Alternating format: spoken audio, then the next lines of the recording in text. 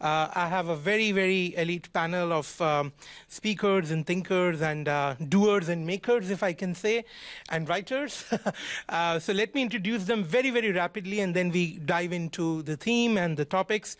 Um, Ashok Adicéam, if I'm pronouncing it correct, um, he's uh, the the, the French government counselor for One Planet Summit for the Ocean and the US Ocean Conferences 2025. UN. UN yes. uh, Bertrand Badré, uh, he's the managing director and founder of Blue Like an Orange Sustainable Capital and former CFO of the World Bank Group. Uh, Genev- uh, Nathalie Bastianelli, is the founder of We Belong to Change, uh, former head of Havas China, and an author with a recent book that I'm sure she will put shed some light on rather than heat. But uh, and then Genevieve uh, Férone, uh, she's the author of Pioneer of Socially Responsible Investment, CEO Casabee, co-founder of Prophil, vice president of the Shift Project. Then we have Sel Kofiga from Ghana. Um, he is a multifaceted artist um, uh, from the, the Slum Studio, the Fashion Waste Recycling Project. And then we have Reina Mar Maruyama. I'm sorry if I'm pronouncing it incorrectly. She's the Chief Sustainability Officer of Work Studio Paneco, which is also one of the, uh, the title um, you know, sponsors or, uh, you know, important part of the, this event. So thank you very much. Thank you everyone for joining in today. Um, when I've had this theme, I was saying, okay, what do we talk about sustainability? There are so many themes around sustainability. So, and we have so many speakers with different perspectives and views and background. Uh, so let's have a little bit of um, you know, insights into what exactly are we doing with sustainability in terms of, you know, moving above and beyond just, uh, you know, talking the talk to walking the talk, right? So uh, I'll, I'll start with right ahead with Bertrand, since you came the, the last, so we'll start you with the first. Uh, maybe you can give some insights, uh, uh, you know, uh, starting insights, and then we can go around and then we can further dive in. Okay, well, thank, thank you very much. It's uh, always great to be at the Bernardin. I have many, many connections with this place over the years. Not the first time I'm on this stage to discuss that topic, so it's always uh, extremely moving. I think it's uh, you chose the right title. That's a question that everybody is asking today. Are we serious about all this or not? And I think it's important to raise this question at a moment where sustainability is being challenged, both uh, politically, there are a number of voices which are now uh, saying this is just nonsense, woke, etc. We've, we've, heard and read this everywhere, and there are growing criticism uh, or fatigue. Uh, and it's also challenging economically at a moment where uh, inflation is rising uh, and I mean, what we are discussing is somewhat inflationary, so we, ca we, cannot ignore that. At a moment where interest rates are rising, so money is no longer magic and free. So we probably have missed the opportunity when it was magic and free. So at, at all these things, do we really want to pay the price for changing our systems? That, that's the reality. Uh, ju just a reminder to start with, seven years ago, we committed, I mean, as far as I know, it's still a, a UN document, uh, which has, I mean, several UN documents which have been signed by all governments, uh, including the US, which have been back in, in, in, the, uh, in the climate agreement, but also the Sustainable Development Goals agreed in, in, the, in the UN in September 2015 and the Paris Accord and followed by, by all the subsequent COP uh, in December. So we are committed. We are committed. So we should not discuss because at the end of the day, we made the decision to go in that direction. The problem is that at that time, we have not been really digging into the real issue. It's easy to agree on an objective. It's more difficult to agree on the ways and means to get there. And we did not really raise the question of money. We did not really raise the question of the system. We kind of believed that the invisible hand would find its way and that if we agree on objectives, the market will, will, will do it. And, and, so we thought we will start with some pioneers and then the crowd will follow. And it will be a natural move. And that's why I don't like the way transition. Transition is nice and smooth. You transition from one side of the beach to the other. Uh, and, and, as we said, it's uh, 1 or 2% of the money changed uh, every year. It's 1 or 2% of the effort done every year. And when you say that to people, it's nothing. But in reality, it's something. We've tested with the COVID that few percentage point is a lot, actually. And, and that's precisely the point that we, we're realizing today. So, of course, seven years later, 2022, uh, after pandemics, with a war context, we are not there, I mean, to say the least. Uh, I think we missed, as I said, seven years of magic money.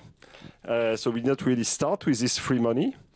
Uh, I think we did not really build on what was left of the multilateralism uh, framework that, that we knew.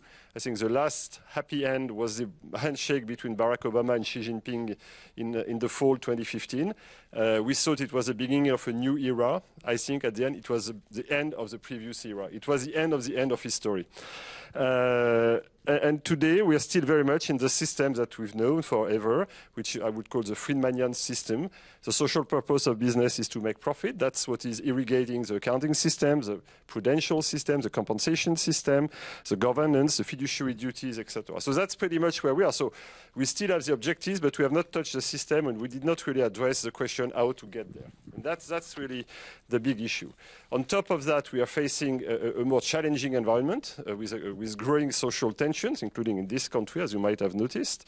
And uh, so, in, in total, uh, I think the root causes of uh, the inefficiencies have not been addressed. Uh, selfishness is on the rise. Uh, multilateralism is as dysfunctional as ever. Inequalities are growing, digital tensions everywhere, and there are growing incomprehensions on sustainability. Let's take the example of Africa. Two years ago, one year ago, you told Africa, don't look for natural gas, it's bad, it's fossil fuel. And now, apparently we have gas problem, so we go back to Africa and say, guys, why don't you expedite natural gas? I mean, what do you want people to tell, to think about this, etc. So that's precisely the point. Uh, and you remember, maybe uh, at the beginning of the COVID, people say, what is the world after? And the French writer Michel Houellebecq said, don't rush too much on the world after, it's the world before, but worse and that's, that's probably something we need to meditate today. So we've done some marginal moves. I mean, I don't want to say that we've done nothing, uh, but we are not really serious. And now we understand that it's tough, that it's not just a transition, it's a transformation of our production, of our consumption, of our finance. It's really a change of the operating system. It can no longer be profit for itself as an end to an end. It's, uh, as Colin Mayer from Oxford say, the social purpose of business is not to increase profits, it's to find profitable solution to the problem of this planet and its people. And that's pre precisely what we have to do, and that's what we have not really started to do. So we are uh, at a moment where it's time to open the hood. Uh, it's time to take our toolbox. It's not fun. I mean, nobody is excited at the idea of spending hours to discuss accounting standards. Uh, it's long there are a lot of vested interests. A lot of people would like to manipulate the system to their profit. I mean, Geneviève knows about it. Uh, and so we are facing a number of questions. First, what do we want to measure? I mean, the quantities. I mean, everybody kind of agree on CO2, but there are many other quantities that we have not yet agreed on. And then do we want to put a value on these quantities? Positive or negative? These are very tough questions. And so uh, the, the, real other question is that there is no master of the world that will decide for us. That's a big difference with the 1970s or 80s when you had the consensus of Washington. You had the big guy telling you this is the way to do it. You don't like it, you don't like it. That doesn't matter. Today you have Europe, you have the US, you have China, you have a number of countries. And, uh, and so the substitute to, to this big change is ESG. So we have ESG everywhere. So we say it's a 40, 50, 100 trillion. I mean, nobody knows what a trillion is actually, but so a lot of money apparently is driven by environmental, social, or governance purpose. Uh, the truth is that it's still very confusing. Uh, the, the, Economist, for those of you who read The Economist over the summer, says these three letters, ESG, won't save the world. Uh, it's still very much aspirational. There are probably 150 to 200 ESG frameworks, so you pick the one you like. And then, like Texas, you say, I don't want to work with you because you're too much focused on, on, on climate. Actually, Florida did the same yesterday. And uh, in an opposite manner, California say, if you are not ESG enough, I don't want to work with you. So that's really where we are. Oh, sorry. ESG means the taking into account of environmental, social, and governance issue. And this, these are the, the, the, three letters that are being used for uh, money managers, etc. I put your money in an ESG box because I will take care of the planet with that. I mean, that's, and apparently there are trillions and trillions of, maybe your money is in ESG, I don't know. Apparently not, but. Um, and so we, have this ESG framework uh, with a lot of risk, actually, and, and we're confronted to that. One risk is bureaucracy. You, you, you create a bureaucratic monster, uh, which people lose sight of the purpose. Uh, one, thing, one risk is a cost. One, one risk is a fragmentation. You have a European for, uh, ESG framework, a Chinese uh, ESG framework, an American ESG framework, or whatever. Uh, and the reality is also the lack of inclusiveness, because the big, uh, big people which are not represented around the table, namely South America, Asia, and Africa, have no word into that. So they, when we need natural gas, we say natural gas is okay. When we don't need it, it's, it's bad. Uh, and that's why I think uh, Asia society is right to focus on that. I think Asia has a particular role. It's a, it's a difficult um, it's a difficult role because Asia is, is part of the problem as well. Let's face it. Uh, there are a number of tensions and contradictions there. So I don't want to be too long at that stage, and I prepared some principles I'd like to share with you. I keep them for the conversation. But I, really want to, to conclude that I think we are at a very timely moment. We should not fool ourselves. We have not started to cross the beach. Uh, so we have done a number of things. Uh, even I, I, saw that ESG would be known by everybody. Thank you for reminding us it's not done. So even that is not done. So okay, the rest is, is, is, far away. So that's really the moment where we are today. We are at a very important moment. Do we continue to move forward, or do we just say, well, enough, and we, we wait? And, and that's really where uh, the title is right. I hope we are not sleepwalking into a disaster. Thank you, Bertrand. Uh, I mean, I see that you're wearing this SDG kind of uh, yeah. badge. So, kind of. again, one one of the SDGs is about maritime, right, uh, and sea and marine time, uh, you know, ecology, and, and and what's the impact on that. And I think Ashok is an authority on that. Uh, would you like to discuss that? Yes. So I won't I won't speak as a bureaucrat because you, when you said bureaucrat, you looked at me. No, I, I, mentioned, I, I mentioned, the UN. Okay. Yeah. Uh, and and to, to, to in response to what you said just now said with the the uh, SDG 17 is the one which takes care of uh, the ocean. The way we are working with uh, Ambassador Olivier Poivre d'Arvor, who's the special envoy of President Macron for the ocean, uh, is something I'm going to discuss here to see how actually the ocean fits into this nexus uh, climate, biodiversity, and ocean, and how this converges uh, towards the SDGs in, in general. Uh, I hope not to be stratospheric nor a bureaucrat. But just say two things, uh, three maybe. Uh, my legitimacy here is uh, all because uh, of Valérie Terranova. I'm, I'm, not sure she's still around, but Valérie appointed me, that was like 15 years ago, as Secrétaire Général de l'année de, de la francophonie, General Secretary of the Francophone um, year in France. Uh, I was already working actually for the French Ministry of Foreign Affairs.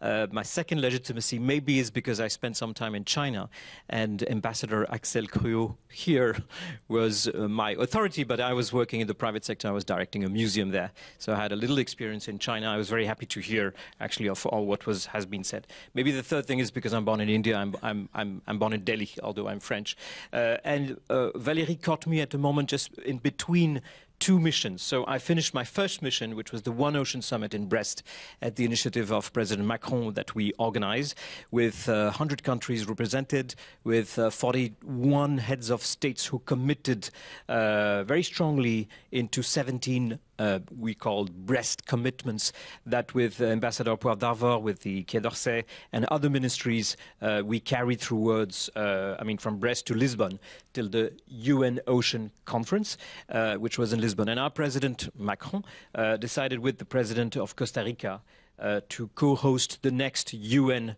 Ocean Conference, which will be in France in 2025. Um, before entering into maybe uh, details and the program of what we wanted to develop uh, during this year, which we think and is definitely, as you are saying, the situation for the ocean is, like for the climate, in a catastrophic state. Uh, the, the ocean is in a very bad state.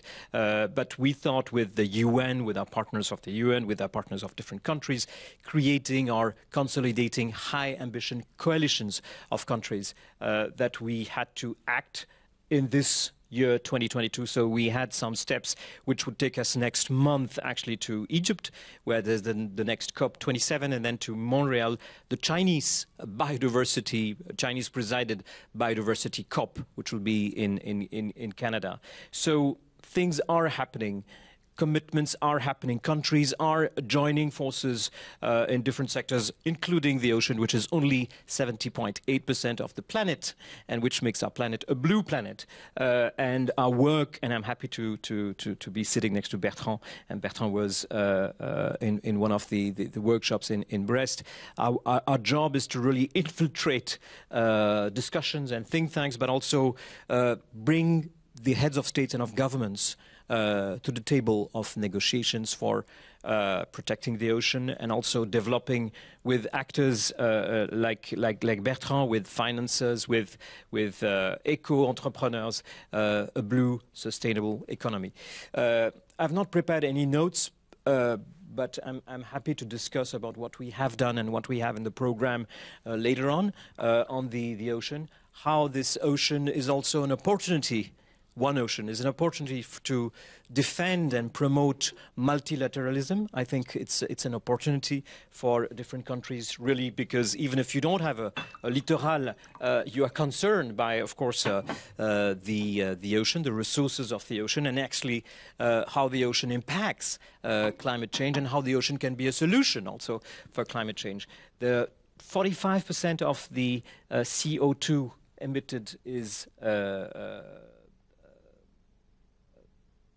captured, thank you, uh, by, by, by the ocean. So we, we need to work with the ocean, work on nature-based uh, solutions. But just before uh, maybe transitioning into uh, another fellow, fellow speaker, I just wanted to, to read just two statistics.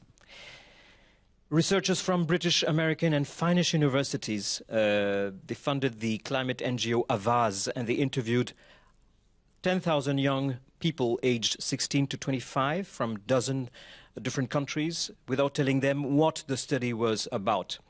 The result is 45% of them, 45% of them from 16 to 25 uh, said uh, that uh, they had this eco-anxiety, which uh, manifests itself in the ability to cope or not to cope with everyday life. 45% of the youth actually don't have any more hope. Uh, there's another there's another study of IFOP, which is the French uh, survey uh, organization, did for for care, uh, and that study showed that in France, 71% of the 15, 17 uh, year old are afraid of the future. And a study conducted in 10 countries shows that 45% of French young people suffer from eco anxiety as well. Uh, so that gives us an immense responsibility in every occasion that we have, and this is one of it. Uh, and I uh, really uh, thank the uh, Asia Society and this great launch of Asia Society in France to uh, bring into the conversation sustainability, uh, to speak very frankly of what we are doing, but also, I think, to raise through that responsibility the level of of hope, the level of uh, ambition that uh, when we join people, countries, actors, multi-sector, uh, polycentric, as Pas Pascal Lamy would say, together, making use of the international forum. Uh, Europe, I think, and the EU is, is one of them.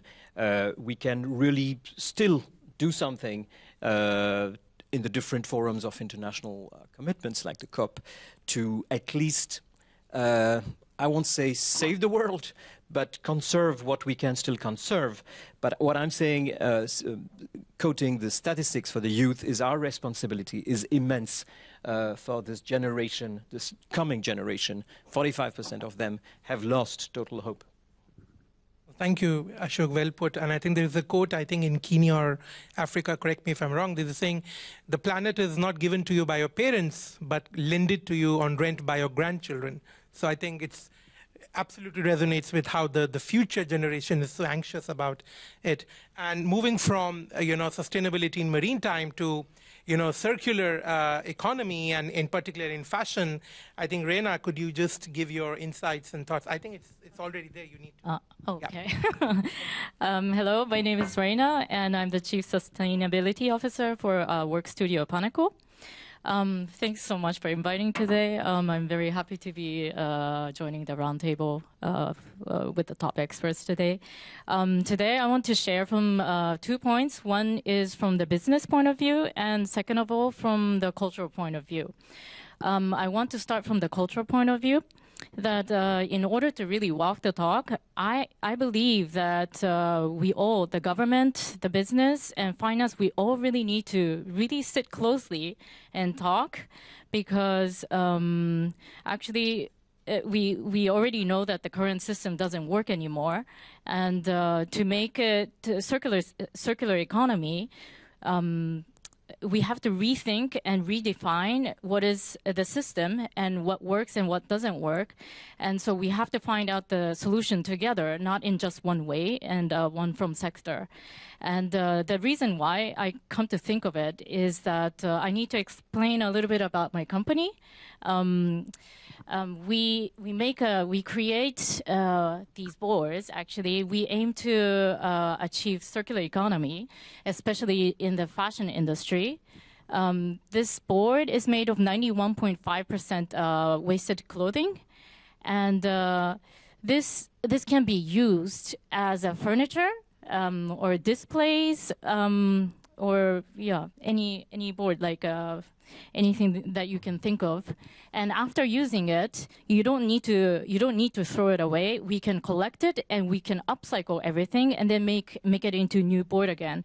So we have a circular model already and um, why we came up with this uh, uh, this product is that uh, because we are a group of uh, uh, uh, our employees is like 10, 10 designers, and we usually design displays for clothing brands, and we um, and when we work together, we knew that there was a problem of overproduction and that was uh, it really hurt to see that from from uh, our perspectives and also when we create uh, displays and pop-ups actually we use the wooden boards. So that means uh, every time we have a promotion and uh, we we create uh, one display, after two three weeks we just destroy it and then we just throw it away. So we have we've seen from different perspectives um, that there's a lot of waste coming in just with only our business.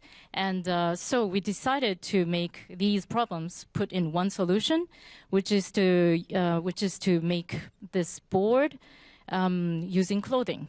So that was a very good solution for us. And uh, so this one Paneco board, actually, this is uh, changed into like little uh, little boards right now. But one standard board is made of uh, um, around 20 T-shirts. And uh, so by using Paneco t- uh, by using Paneco board, that means uh, we can decrease waste actually, and we are already part of the circular system. And also um, another great benefit is that uh, by using Paneco, we can uh, we don't need to cut down the trees. Um, in order to make boards, let's say, for example. So there's uh, multiple benefits by using this board. So this is a good solution for us that we want to make it bigger. And uh, so far, we started this project, and we're just 10 small, uh, 10, let's say, employees. And we're not a, a professional in the sustainability uh, field. But with 10 people, we uh, so far, we upcycled 50 tons of clothing. And with 10 people, we can do this. That means that when, when 100 people gather or 1,000 people gather, then that makes a very big difference in my eyes. And so that's why um, to make this business work, or let's say this circular uh, business model work, we need to really talk with the government because we don't know how the legislation or uh, it works. So we need everyone's help and also the financing we really need. So this is why I really think that uh, we need to, yeah, this is my point of view. And uh, one more thing I want to talk about because today is the opening of the Asian Society, is the cultural point of view. Um, I'm coming from Japan, and uh, also I live in uh, Germany. And I've seen um, that EU has been really leading the sustainability, and that really impresses me. But uh, when I when I when I see Japan, actually, I I feel a little bit worried. And for example, um, uh, the ESG investment ratio in EU was uh, when the EU had already like more than 50%, Japan had only 3%. And when you compare these numbers, I was like, oh, oh, okay, what's uh, we have to do something, but uh, we're we're just getting really behind. But uh, the more I come to think of it, actually, and when I look into uh, history and culture of Japan, uh, more than 100 years ago in Edo era, we had a perfect sustainable circular system and uh, we have just forgotten about it. So I think when we when we want to make a circular economy, or make a make the um, society sustainable, we can also look into uh, um, the past and history, and we will find lots of green ideas. Is Thank my you. point. Thank you. Thank you, Reina. I think it's a very interesting idea. I mean, one point that you said is about overconsumption, you know, and that's one of the reasons.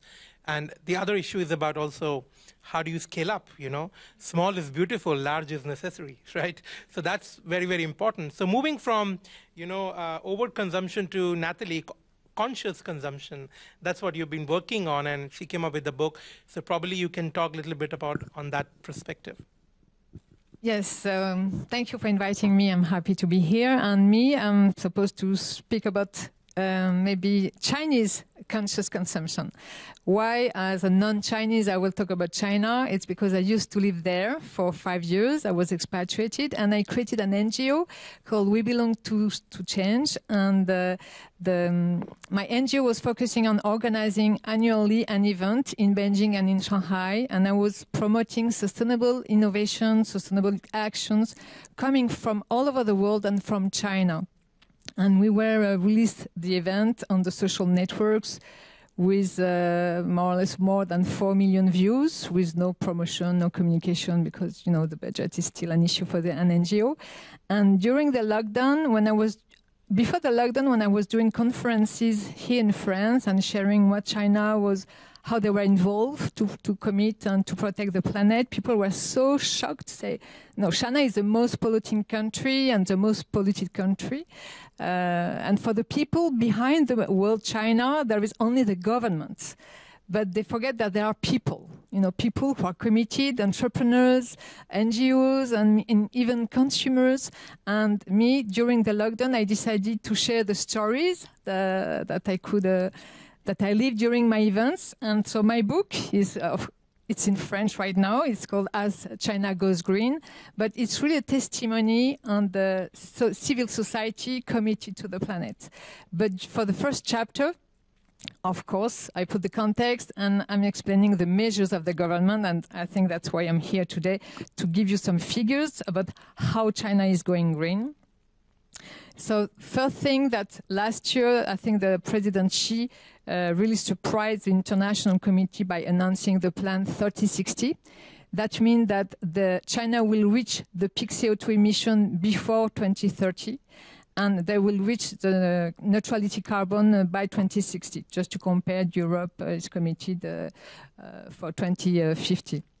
So they launched a huge plan of measures um, starting in uh, 2013. I don't know if some of you have heard about the, this terrible period in China called the apocalypse, and this word was given by the Chinese media.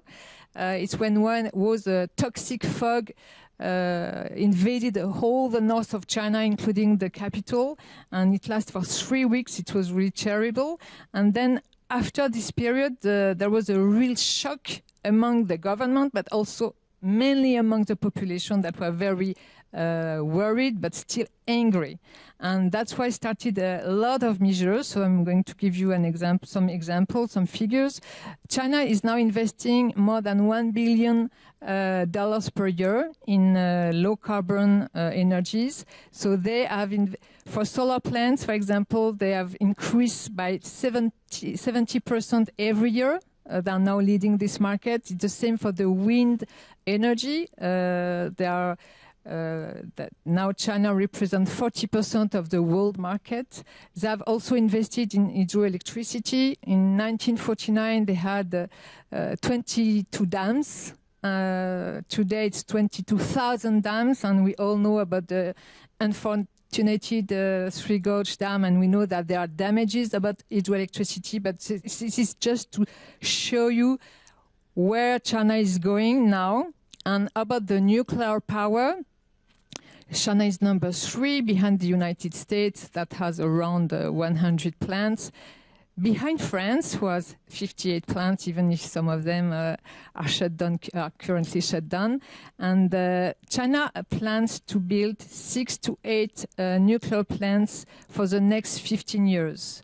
That means that they plan that uh, nuclear power can be represent 10% of the electricity compared to 5% right now. And when we all know that in France, it's 70%. So when you know the population and you compare between France and uh, China, maybe we can better accept that uh, this vision to build more nuclear plants. Also, they have launched a carbon market last year it will be probably soon the biggest carbon uh, market in the world. They have tested it for eight years in the seven uh, richest and more industrial regions of the country, and they were very inspired by the European model. Um, now, of course, the the price of the ton is very low, seven dollars compared to 35 uh, in Europe, but still, it's still some, uh, you know uh, some measures that show that how China is moving forward and um, what can I also say? They took also some uh, um, measure for the companies. Uh, some big, all the big companies have now the obligation to publish their CO2 emissions if because of the company there is some pollution damages, now the fines are very big compared to before, and also they risk the jail. But not only one person risks the jail, because in China it was very easy to choose one person and just, you know, you put it in jail. And uh, now it's all the management who uh, go to the trial, but also the official of the Communist Party who is judged and go to jail. So this is a big, it was a big shock in uh, civil society and even for the Chinese ecologists when the, the, this measure was uh, announced because they were very surprised that it could go so far. Um, what I could share with you is um, regarding the Chinese um, officials. Uh, up to now, they have two key objectives. It was uh, economic growth and uh, social stability. Now there is a third one, which is as much important as the two others, is to reach the environmental objectives. So I'm not going to through all the details and uh, to explain uh, how it uh, it has been put in place, but it gives you uh, an idea of all the measures who are taken now by the government.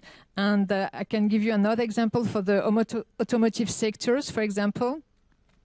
Now you have um, the, the government wants to reach half of its market should be uh, low carbon by 2030. So how do they took this in place? The, for example, in Beijing, you cannot buy a petrol car. Uh, you have to buy a lottery ticket.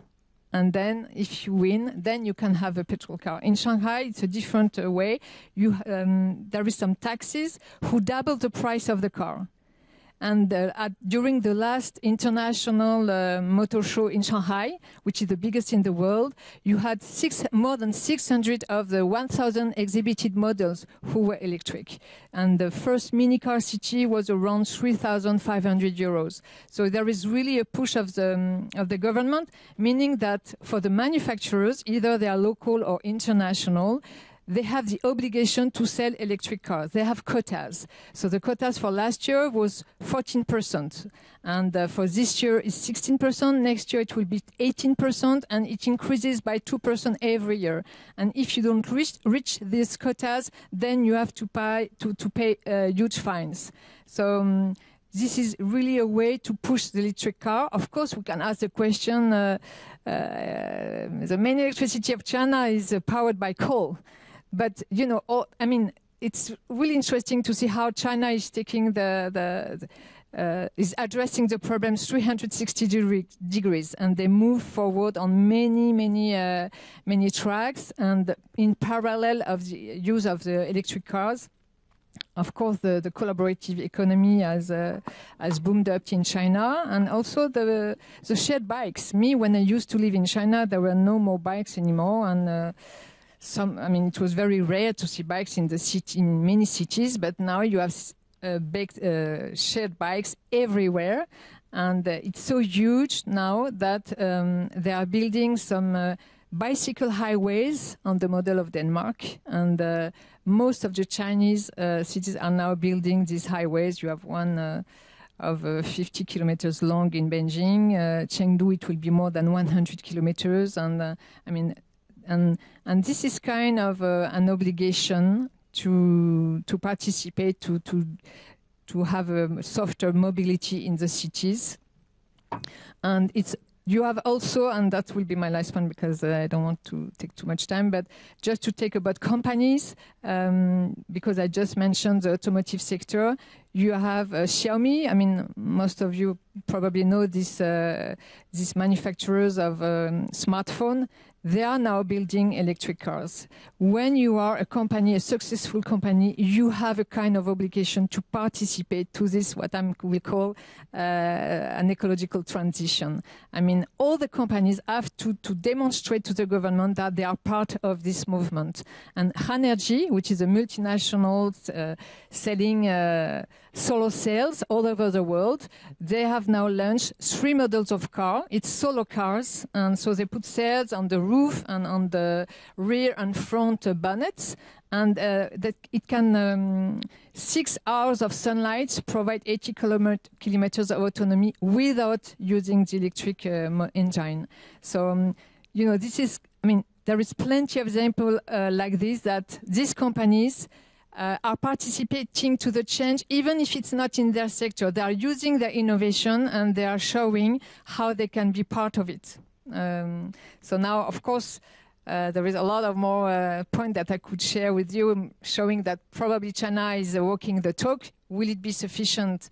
That's another point. But uh, uh, okay, at, at, at, least they're part of it, and also I cannot mention it now uh, because I, we don't have enough time. But really, civil society is really part of it, and this is what it, it's. it can give a kind of optimism, saying that, of course, any country, including China, is part of it. Thank you. Thank you. Thank you, Nathalie. So from there, Sel upcycling of used clothes. I mean, this is something very interesting.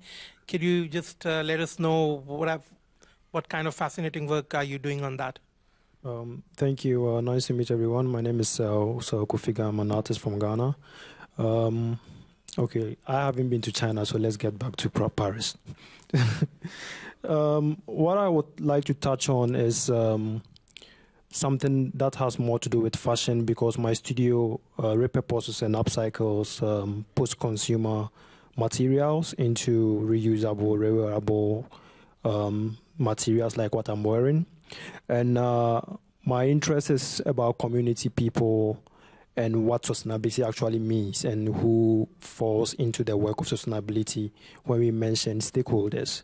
I'm interested in the work that um, people do in Ghana. Ghana, um, Accra is the capital of Ghana, and unfortunately, Accra receives close to 15 million used garments every week from Europe.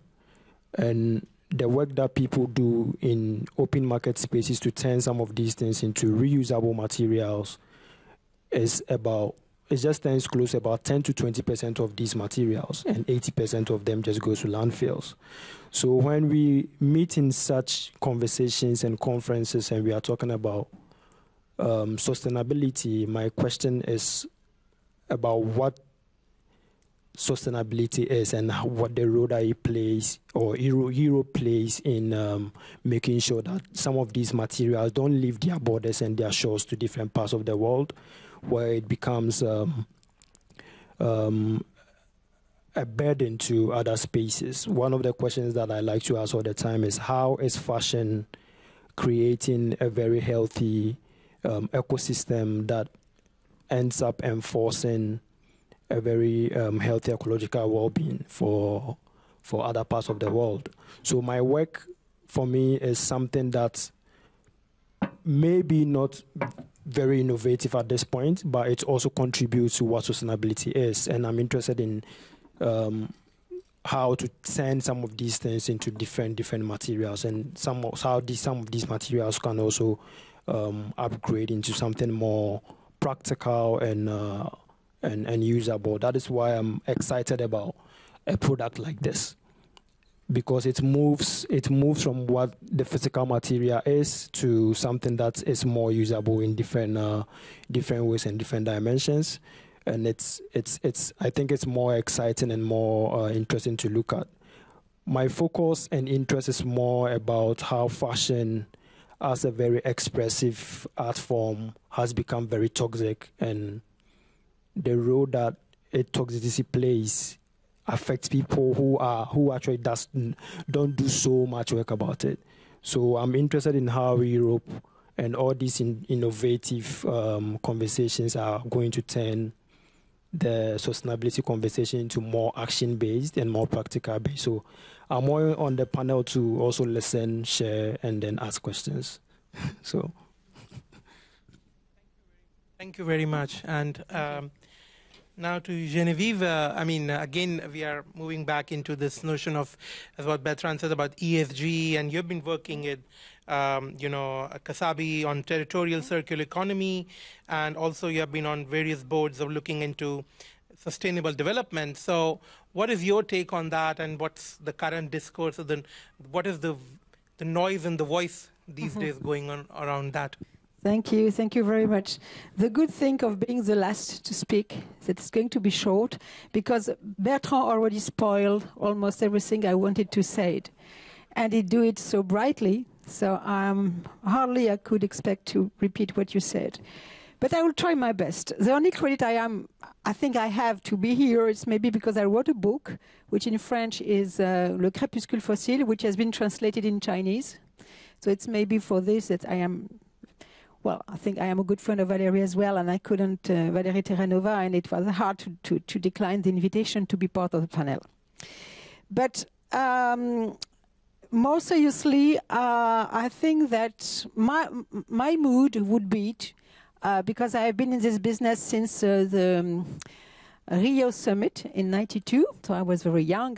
I was, I was working in the United Nations at that time. And I would say that um, this was a golden age of the public diplomacy. 92 was the third Earth Summit. It was the third, and it was a sort of acme in a sense that um, in French we could say an état de grâce. Um, we have a sort of a convergence of uh, public interest, private interest, investors, NGOs, and um, and it was the time of the conventions on the climate change. It has been adopted. It has been adopted for signature, and all the COP and the following COP are the very beginning is uh, in 92. And at this stage, uh, at this time, we were full of hope because we were convinced that it was possible to curb the greenhouse gases um, inflation and that we will provide all the solution we needed because we have faith in technology, faith in the government, faith in the youth. I would say that 30 years later, I don't know what we have done with this magical moment.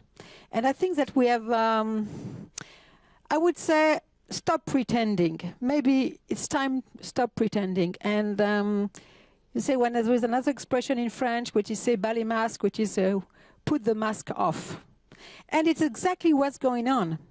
And what you said, Bertrand, um, the masks are coming off in a sense that because ESG is becoming a true political uh, signal marker, um, people are just uh, adopting um, a very, um, I would say, um, strong position in favor or against.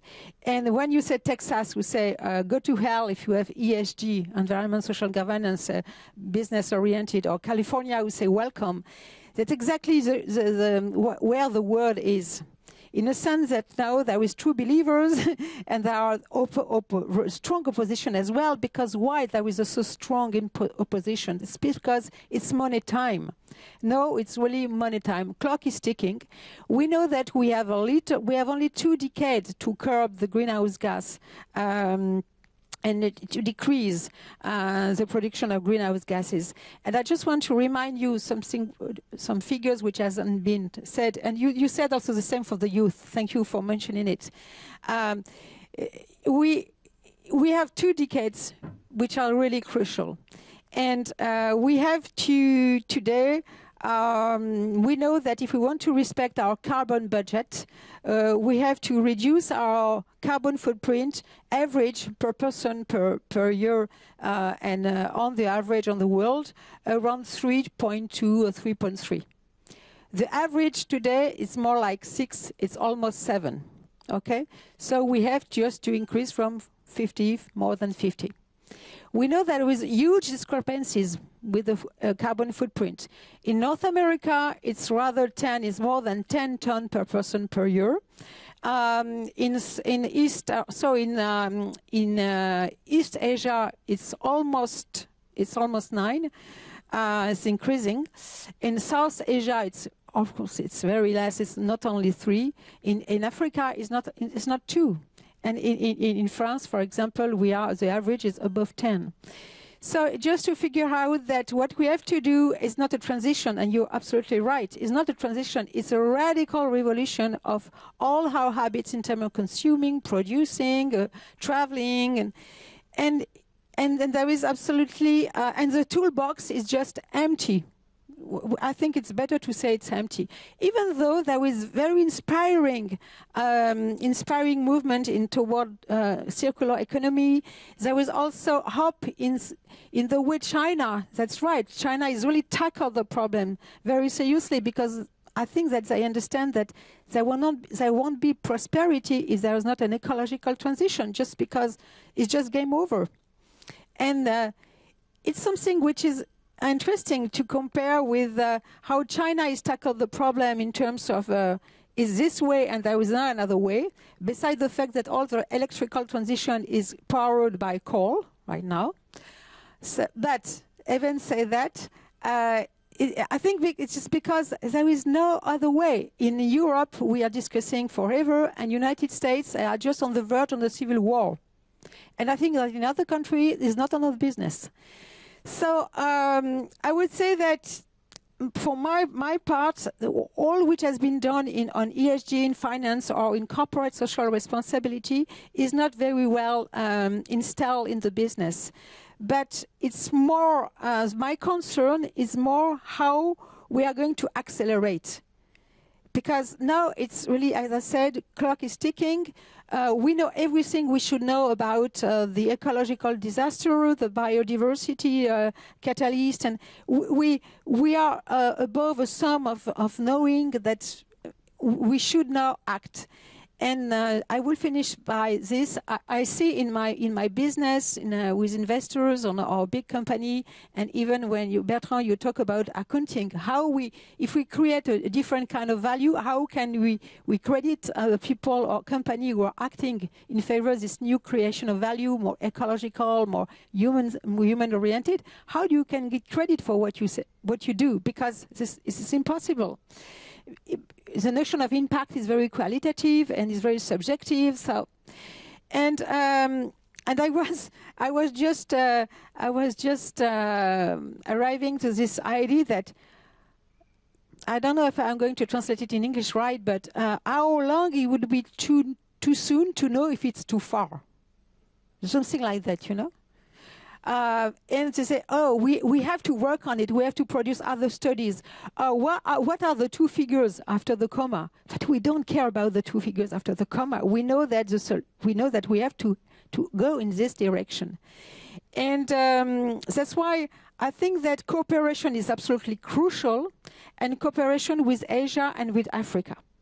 And all the transfer of technologies that we can provide those countries with is absolutely crucial because mainly those people living in this continent are above the emission, uh, the, the, level of emission we, we, we should be allowed to, to. And we, we have to help them to have a decent, a decent life. And so we should provide all the solution we, we, we could and try to work on this uh, with reduction of carbon footprint together because otherwise it would be just public and private agenda. But if it just uh, go first and I will follow, it won't work. So I'm sorry to be a little bit uh, pessimistic, but I have still faith in um, the wonderful uh, capacity of human being to maybe uh, find solution. A big constraint and big value. Normally, it's a new civilization waiting for. Thank you. Thank you, Geneviève. I mean, um, before I maybe throw some points here and there, I just want to maybe have my two insights about sustainability. I teach a little bit about that at business school, and I think um, uh, there is this debate in sustainability, you know, which is about yes, you needs to have conscious consumerism, but what about billions of people who have not yet went to that evolutionary path of consumerism, particularly people at the bottom of the pyramid? You know, 65% of the world still lives at less than $10 a day below consuming class. So, uh, of course, we need sustainable and responsible consumerism.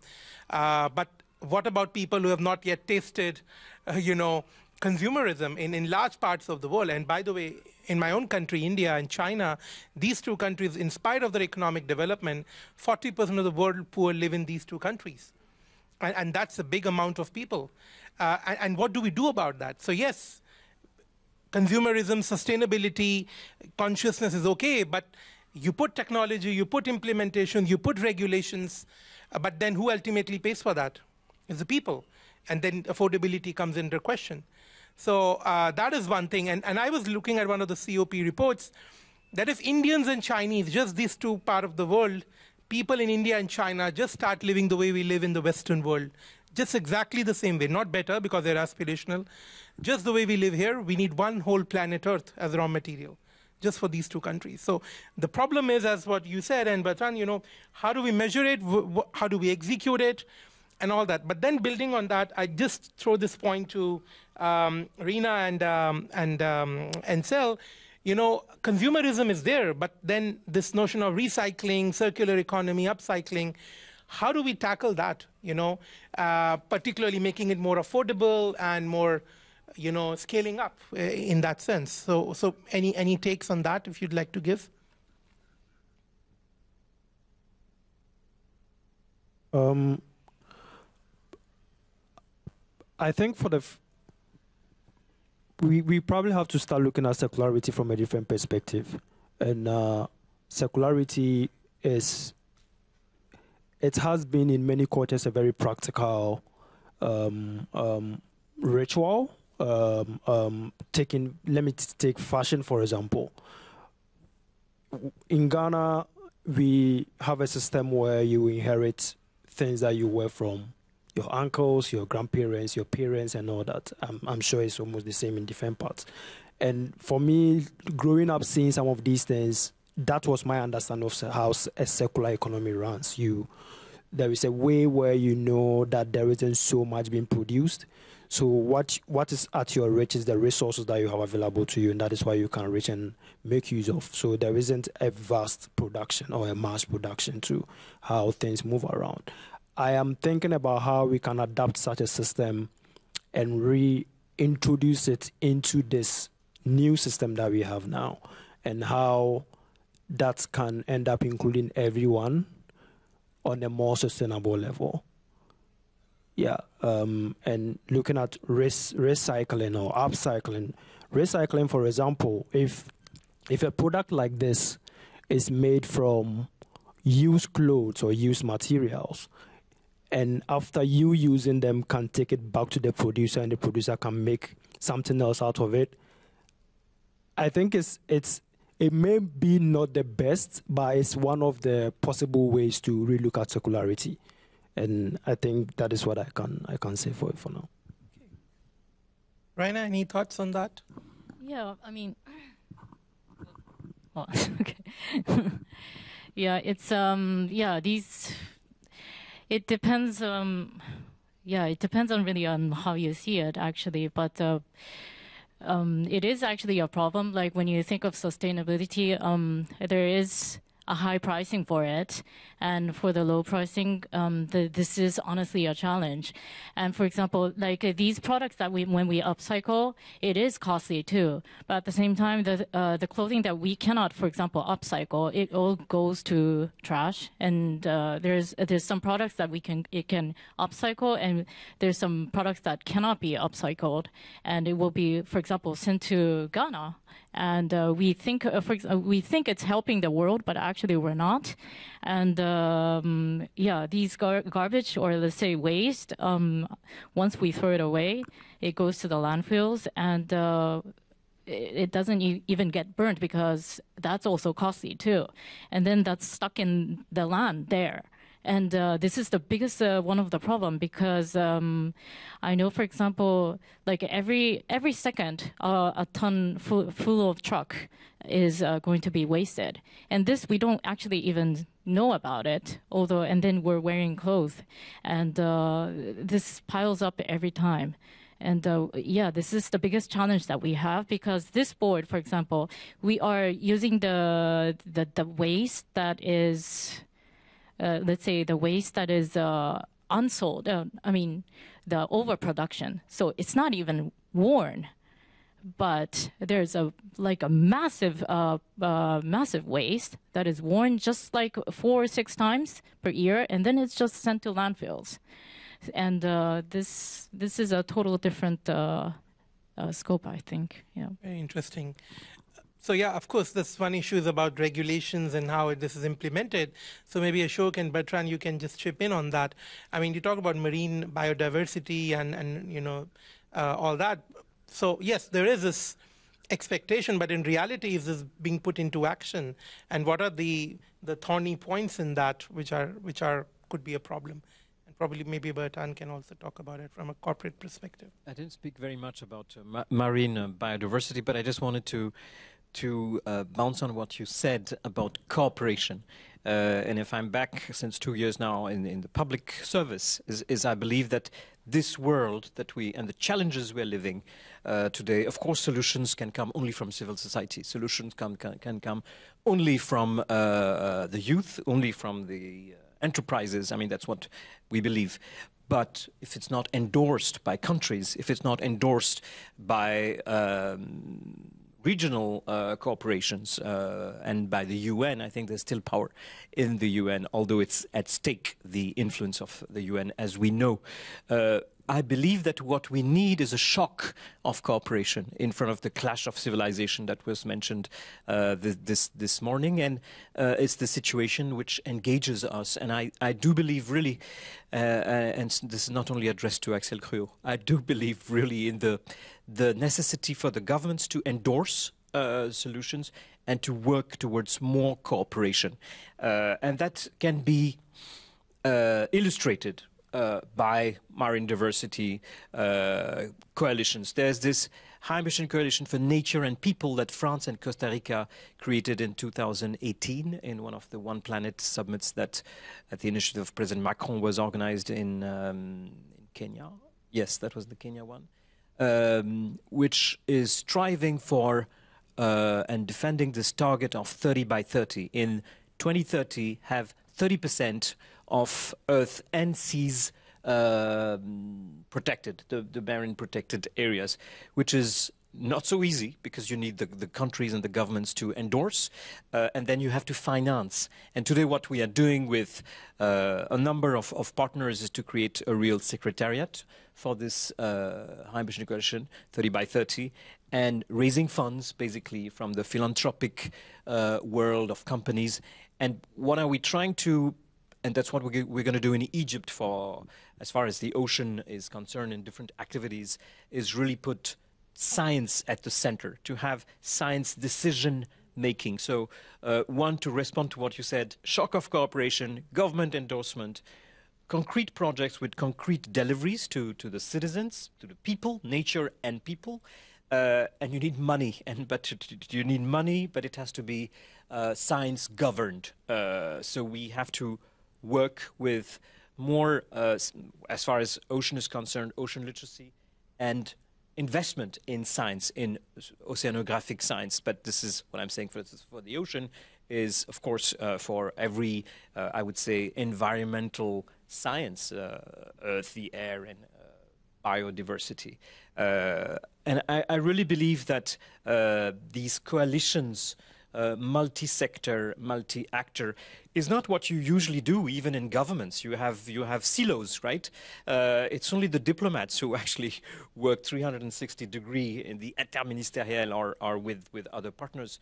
Uh, we have to work, and I think that that starts also.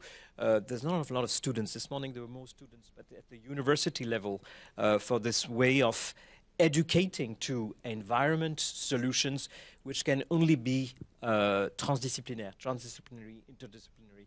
Uh, and that, that is also something which is very much uh, at stake. And it's the chance that we have because we're facing these huge challenges. The only action we can do, as far as where we are, uh, I don't know, for, for your own world, is to reframe, ref reset uh, the framing of uh, public action.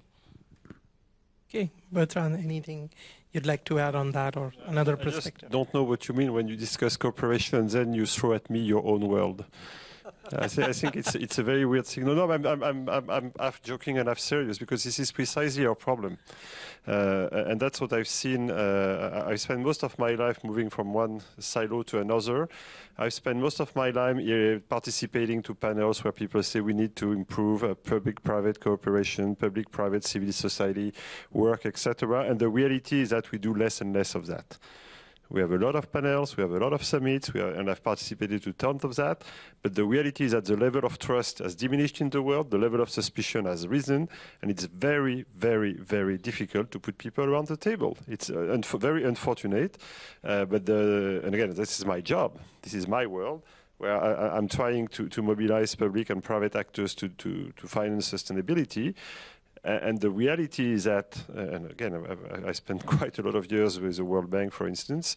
Uh, the private sector says the public sector is too low, too slow, too bureaucratic, too corrupt, too whatever. It's not working.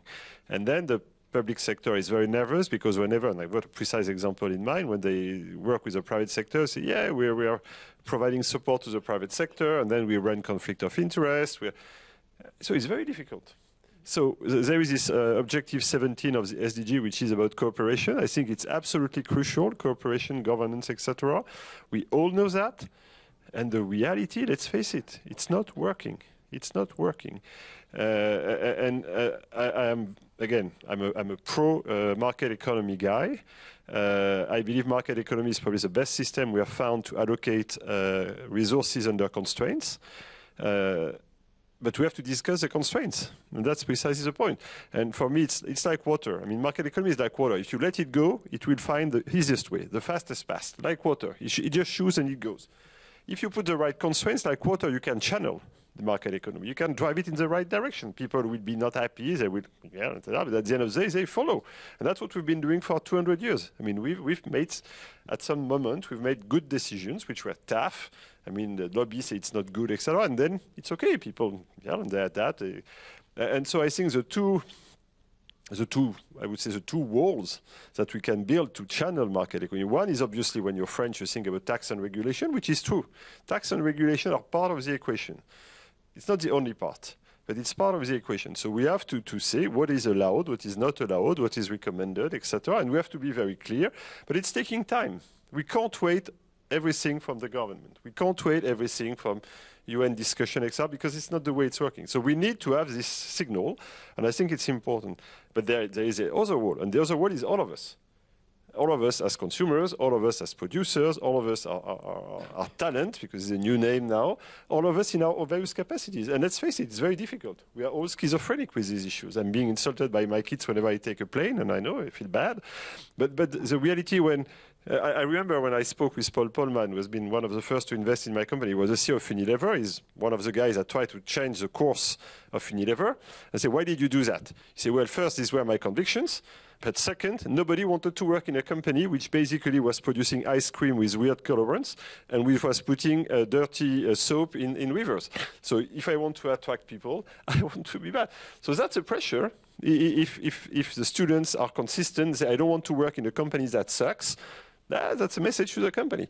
If the investors do the same, and we're not there yet, that's also a message. And if the consumers stop buying, so we, we have this capacity. But we, we cannot fool ourselves. There will not be somebody who says, this is it. It's not going to happen this way.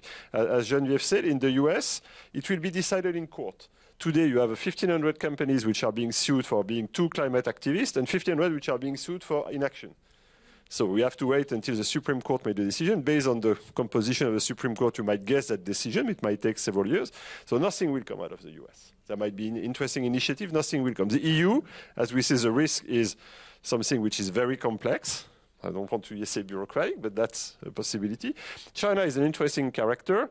But cooperation with China is, I mean, I was not there this morning, but I suppose you discuss that. Everybody wants to cooperate, but it's not that easy these days. So the, the picture is not great. And then how do we engage with Africa, and Latin America, and Asia? And that's where we have to be truly inclusive. Because the reality is that I don't want the EU to become Boboland. You know?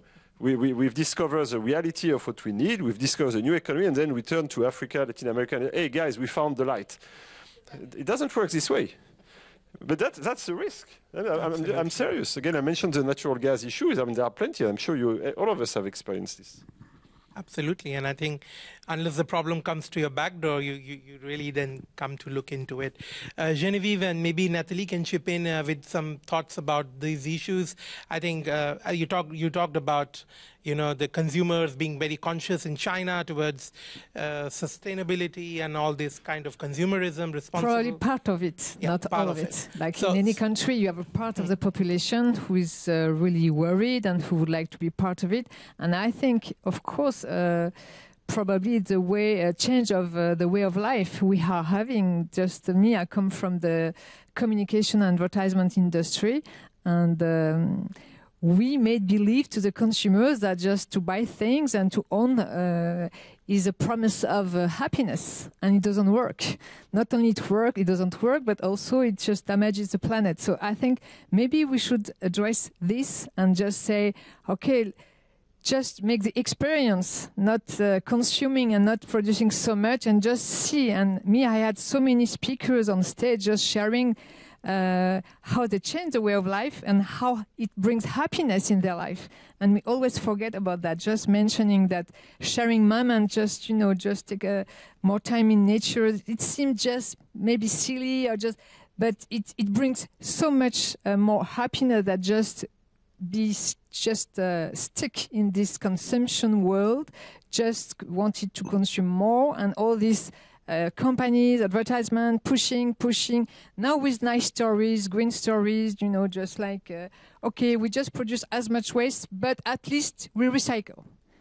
Why don't we stop producing waste? Why don't you try to just cut down the way we, we produce things? So I think maybe we should just, uh, as you said, maybe, yeah, it's not a transition, it's a revolution, uh, it's a change of paradigm. We should give up this paradigm and just make uh, give birth to another one. But this is a just such a challenge. And i think it's like a thrust that we need to push upon you know. Like the covid we were forced to change. We were forced to adapt and you know and and and and, and therefore we need some kind of this uh, a certain shock and jerk and uh, effect you know so that the society moves into a different trajectory towards sustainability. Geneviève any thoughts on that and then we maybe open it up for the audience? Very quickly, I think we are all scared because it's very difficult to imagine something which are not the current growth and unlimited growth. Uh, we are scared because if we speak about degrowth, everybody is crying, it's crazy, it's no sense. Um, on the uh, and another, the growth like we are living it, it's a very short event in the scale of humanity. It's really we, we we are in a very strange position because it started with the Industrial Revolution and uh, with the freedom of incorporation. And and and I agree with uh, with Bertrand. It, it brought a lot of wonderful things. But now the question is that we are we are touching physically touching limits, our own body, the planetary limits. Um, and then how do we deal with this, this idea of limits? It's not part of your imagination. So we have not we have not good stories about it, and we can refer to. Um, the only stories we, we, we like, we refer to are science fiction and going to Mars. So it's something we have to reinvent inside boundaries, but we hate boundaries. It's, it's a limits. It means that it's attrition, that we are losing something, but maybe we are not losing something. Maybe it will be much more in terms of happiness and cooperation, but and then, but we are very scared. So what we're doing is just pretending. And we are pretending, exactly as you say, Nathalie. Um, keep consuming and we'll take care of recycling. But it, it, it, it's not true. When you looked at some uh, a big corporation who are putting plastic bottles, it's billion of plastic bottles in, in the ocean and all everywhere on Earth. If they have uh, uh, just a, the slightest sense of corporate social responsibility, if you install a factory producing plastic bottles, at least you take care of the reverse logistic. Or you invest uh, in, uh, in recycling plastic. You have, you're compelled to do it when you're in Europe because there are more strict, very, very strict conditions in producing plastic from recycling uh, uh material. But when you're in Africa or in India, what is your corporate responsibility about doing this? You think that the informal economy will take care of it. And I think it's it's just the limit of it, you know. So all the big companies are fully aware. They are completely fully aware what are the risks, but just they are completely scared about making a big path in, because it just it just we don't know. We don't know. We have never experienced this. And we are all tied together, market, private, public, and consumer. But the youth are really willing to change this, but they are really frightened. And they don't want to be part of this world. And uh, I, for my part, this is uh, the figure you announced that 45, 46% of the youth, what this is in France, in, in Europe, in 10 countries in Europe, from 16 to 25 years old, they think that the future is just frightening. Is not uh, worrying about it or is not, mm, I don't feel good. It's just frightening. Are you really hearing this? And are we going to be good ancestors? I'm not sure that we are going to be good ancestors. I think that we are going to be the worst ancestors in all the human history not a very rosy picture, I guess, but that's how it is. I mean, so I think what we can do is that we can let it up to the audience. If we can have a, uh, you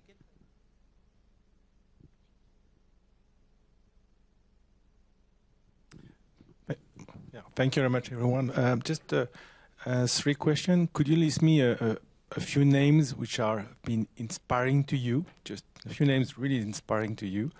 Then maybe a few names of people who are really moving the needle, so maybe less inspiring, but at least they are great at action.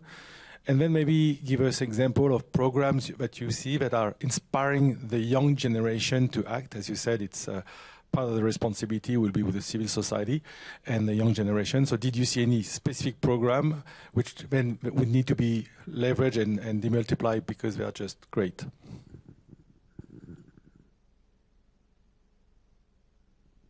Maybe I can mention the name of an entrepreneur who retired very recently, Yvon Chouinard, who is the head of Patagonia.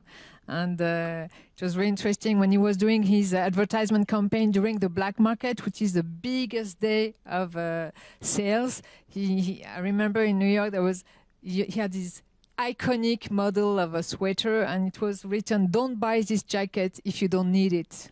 And uh, the way now he, he, he created an NGO to to to get, I mean, to, to take care of this company because now he's retired because he said there is no financial way uh, uh, or reliable solutions that I'm sure that they will follow the line that I, I built all this year. So that's, to me, is one of the inspiring people uh, I have in mind. Um, yeah, and he is a benefit corporation. He is, a, in, um, I would say, there's plenty of inspiring uh, things. The problem is the scale up. But I have in mind, uh, maybe you know this uh, young fellow, which is Corentin de Chatelperron. He's a French young man, and what he's built is was the the NASA of low tech. It's not the NASA to send uh, send the airship in, in the space, but low tech. So low tech is very interesting um, because it's just uh, good sense and engineering skills, engineering skills, and um, observation of the nature. And what is done is very inspiring for the youth. Uh, beside that, uh, beside that, there is no, I would say, juicy business model behind, and it's open sources. But it's very inspiring. Corentin de Chatelperron, and there is some uh, on Arte now also TV channel. Uh, he has been doing the is touring the world uh, uh, on a boat and uh, he do some stops in uh, each continent and try to to make a sort of encyclopedia of the low tech in each continent and countries, inspiring the youth and um, maybe one of the the new generation we we need, but. How we convert this is money that's the point. No, I think first of all, uh, I want to pay tribute to Geneviève, which has been a source of inspiration to me. No, that's true. And uh, no, no, I'm serious. I mean, she she she is very modest, but she's been one of the pioneer. I mean, in 1992 she was very young, but then she created her own business here, etc. I followed this closely, and uh, she was one of the first to really uh, understand it was about systemic change, not just marginal change. So I think it's important. And among my heroes, I have two categories. The, the one I'm financing with my business, which are really entrepreneurs in difficult countries, which are really tackling the biggest issues and uh, and making money. I mean, it's uh, I'm, I'm, not in the humanitarian business. I'm in the business, and we are making good money while having a good impact. I'm, I'm trying to repeat because most people tend to be, yeah, Bertrand is doing these nice things in the developing countries. He's not making money. It's, no, no, no. You can make money and have it all. And we are really working with entrepreneurs. On the other hand, I'm also uh, very interested by the people which are working on doing the boring stuff, which is how do you change accounting, compensation policies, all these things which are not very glamorous, uh, but which at the end at the end of the day will make a difference.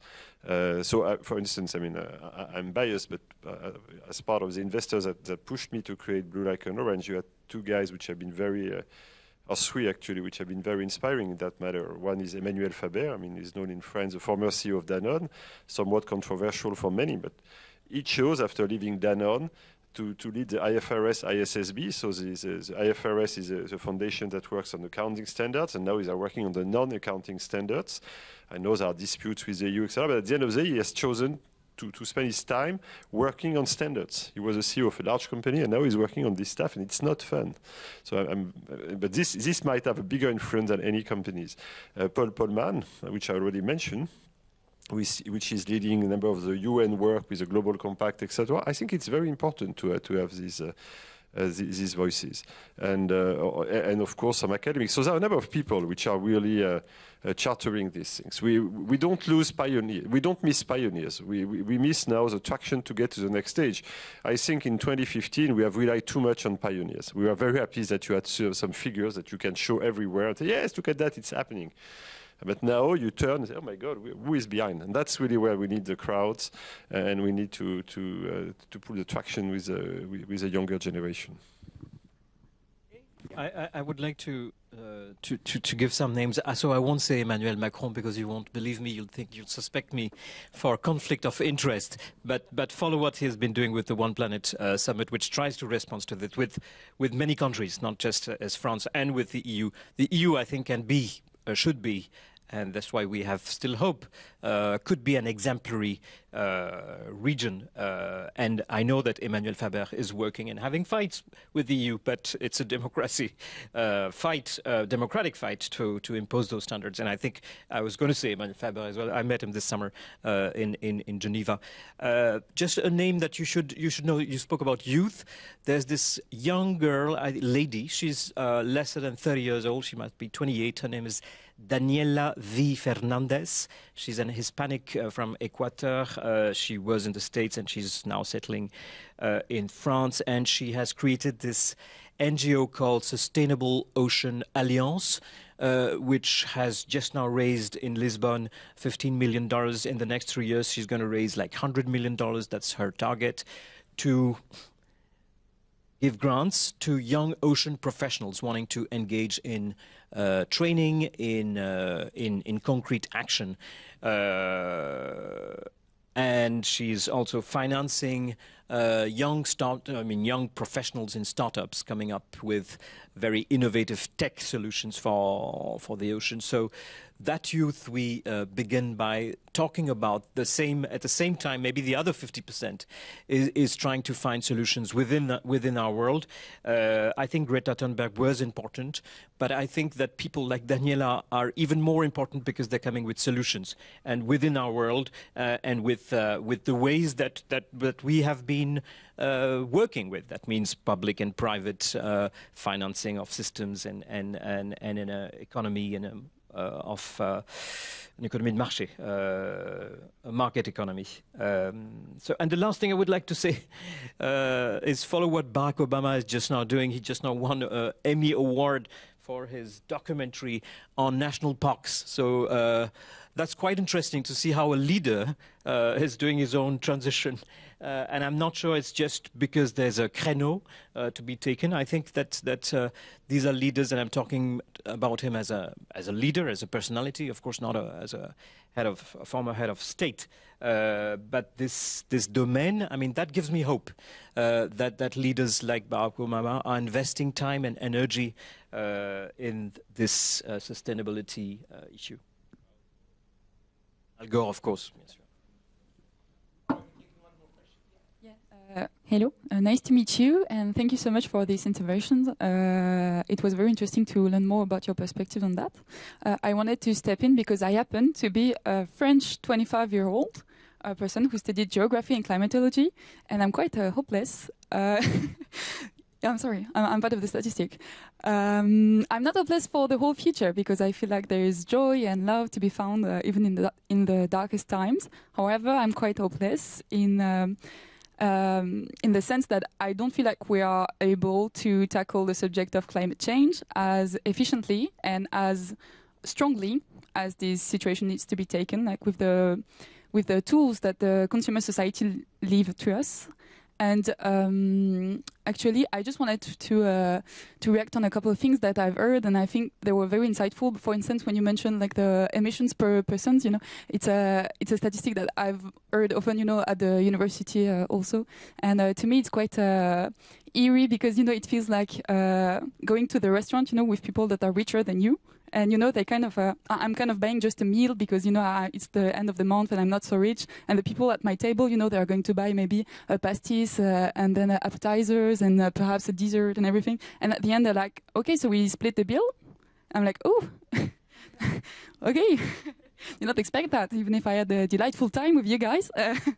So it's kind of um, it's uh, always to me a little eerie, you know, to be in this position and to uh, and to have to uh, do something, you know, after hearing this kind of uh, statistics, because uh, well, it's difficult to feel like it's a shared responsibility when in fact some people do have a bigger, bigger share of their uh, of responsibility in this uh, conflict. And so my question, to put it simply, would be: uh, I am quite hopeless in in this situation, and I was wondering if you were hopeful on your end, and if you know, you can think of ways to address that and to convince perhaps that growth is actually something that is going to be difficult when addressing ecological uh, subjects and that perhaps some people are going to have less money, less incomes or less comfort, you know, in their daily lives and it's going to be necessary, you know, to tackle these problems. So yeah, I'm sorry, it's, uh, it's quite chaotic, but uh,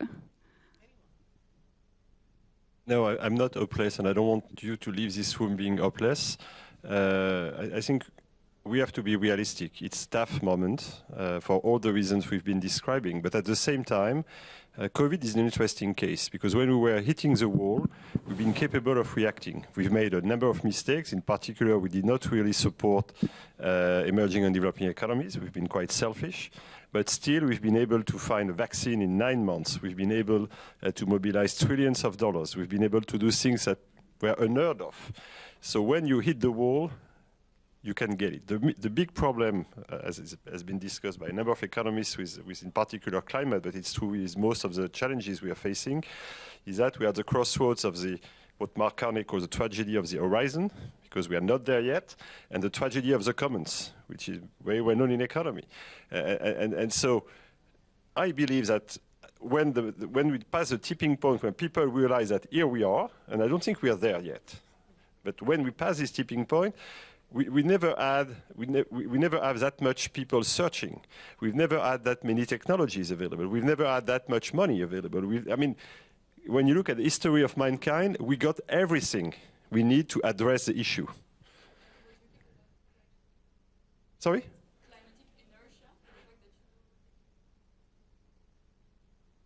Yeah, but, uh, yeah, but we are where we are and we started late, etc. But, but my, my point is that the, it's true that at the end of the day we might probably need to to to, uh, to choose uh, to, to, mix a little bit of adaptation mitigation. I don't want to enter into the details, but to be to be hopeful, I think again we, we never had that many people thinking about it. We never had. I mean, we can't say we don't know it, etc. So maybe the minute we touch the wall, we will react. I, I know it's not great, uh, but we got all the pieces of the puzzle. We've got all of them. We don't need anything else. We just need to put the puzzle together. So that's why it's, again, it seems that during COVID we were stuck at home, so a lot of us did puzzles. So maybe we have more training now, so we should, we should start working on this puzzle. But I think we get it. Doesn't look like, but I, I am not hopeless. Um, I have my motto, my personal motto is it's too late to be pessimistic. So we don't have any choice. We have to be committed. And if we are not committed, it would be denial, frustration, um, resent, re resentment, resentless, resent, resentment. So very bad vibes. So if we, want, if we want to share good vibes together, uh, we we have no other choice than to be committed. And it's too far. It's too soon to know if it's too far. You're right, Bertrand. It's already too far. So we are eating the wall, but some are not going to uh, doesn't seems to know it. And what you say remind me a, a very nice drawing from Xavier Gorce, which is a French uh, uh, drawer. Um, there is a family at a restaurant. Uh, there are four adults, and there is a baby in a baby seat. And the four adults uh, say to the waiter, "Oh, we are going to have four gastronomic meals, and the bill would be for the little one." and it's exactly what's happening. Thank you. Um, I wanted to touch on the hope thing. Um, I'm not hopeless, but being hopeful can also be very depressing and traumatic sometimes because we are dealing with power structures who also find it intimidating, as she mentioned, intimidating to see that there is some sort of progress. There is advertising, there is media, there are all these powerful, you know, players at play who when they see that there is something good going to going to happen at some point, they will try and try to make it, you know, go to go to the wrong side. So I think, as humans as we are, we can try as much we can to remain hopeful, and that is where all these interesting ideas can come up, and we can come up with something exciting. And I wanted to also touch on the question that you asked earlier about um, um, inspiration or things like that. Um, I like uh, all the names that were mentioned, but I would like to say people who inspire me a lot are factory workers from different parts of the world, Bangladesh, Vietnam, who actually do the actual work on what we are all sitting down here wearing. And they have to fight all the time to make sure all the low wages that they are received are paid to them and they deserve to be paid to them. So I admire their strength and how they fight against this sort of oppression and exploitation and, in how um, this very rich fashion industry accumulates a lot of money but don't pay all these people the money that they deserve. So they inspire me a lot. Thank you. Great. We can take maybe one more question. Yes, um, thanks a lot. Okay. Yeah, I'm also a student and I also happen to be French. Um, and last year, I think, or the, the year before, I had a class with Olivier de Schutter, um, the representative of uh, extreme poverty at the UN. And we talked a lot about the global compact. And there's one word I haven't heard uh, in this panel yet it's accountability. And we, we have heard of accounting, but not accountability yet. So my question would be as long as it's cheaper to build new things rather than to recycle, and as long as the majority of the people on this planet cannot afford sustainable products, can we achieve sustainability without constraint on the private sector and especially the huge actors? Because it's very hard to be a new actor right now. We have to act on the actors that are already here and taking up the huge majority of the market. Let's be serious. Um, so I am convinced that you're uh, great people trying to make a difference, but how can we address those people who think that going on Mars is a realistic target or that eternal life is what we should be aiming for right now. Um, yeah. So how can we actually change the paradigm and the system? And thanks a lot for all these interesting uh, talks, especially on fashion. Yeah, um, and how to like. I think we've already produced enough clothes for the rest of human existence, to be honest. So thanks a lot for what you're doing in that specific sector, because Thank something I'm really interested into. Well said. Anyone would like to take a final thought on that? I- I don't think we have the time because that would, Yeah. that would need an, uh, another panel to Yeah. respond to your questions. I'll just say one word about hope. Is and this is my sector now, which is blue economy. Have a look of what's going to happen in blue economy. Uh, there's huge opportunities for job, for economy, uh, and also again for uh, uh, a shock of cooperation. That's what I hope. I I want to tackle your question because I think it's a crucial one. Um, the, the big issue, as I said, there is no master of the world. So we, we can say they should do that or we should find a way. It's not going to happen. End of the story. So we should really find other ways to get there. Uh, and one of the other ways, I've been CFO of companies for many years. So I know you can have dreams for two months and 29 days, and the 30th day of the third month, you are back to reality because principles brings you back to what you had to deliver according to the rules. So what, what I'm, the, the real questions you're asking is about the price and the constraints. Uh, and people say, yeah, but you know, you have to be profitable, etc. I say, okay, what is profit? Ask your kids what is profit, so they will come to the grocery accounting. They say it's revenues minus cost. I've been CFO. There are hundreds of ways, despite IFRS, to calculate revenues. There are hundreds of ways to calculate cost. So for me, profit is a social norm. The social norm today is particularly favorable to the system you describe. There is nothing that prevents us from changing this, this social norm. We have to incorporate in the way we calculate revenues and cost exactly what we've described today. And this is the best way to enforce things, its externalities, etc. Today we are paying, we are focusing all our energy and brain cells to discuss financial capital. But the financial capital is the most abundant capital we have on Earth. What is rare, what is scarce, and what, where we should focus our brain cells is environmental capital, social capital, human capital, societal capital, etc. And these things have zero value. So the minute we start to incorporate, that's why all these things which are bring are important. The minute you incorporate, then people will be forced to do that. But I don't see any other way. There, there, again, there is no system in the world that will force big companies to do these things or these things. It's unfortunate. I know when I, being French, when I was the World Bank, people say, hey, you're French, you think you take the Bastille and you abolish the privilege and you're done overnight. No, there will be no sustainability grand soir. It's very sad. It's very painful. But this is the way we have to tackle it. So I think you, you point the right direction, but we have to find ways to get there. And it's, again, boring, n- uneasy, but I believe it's one of the only way to, to achieve something. Essential, just essential. I mean, uh, we are almost off the time. Thank you very much. And I think just to end that, I mean, we can be hopeless, but I think we have to be hopeful uh, for 4 billion or 3 billion people who are anyway hopeless in their lifestyle and living conditions. So I think there's nothing more down to go, but probably up to go. And so that we reduce the gap between expectation and reality mismatch. Thank you very much for the session. Thank, have a nice day.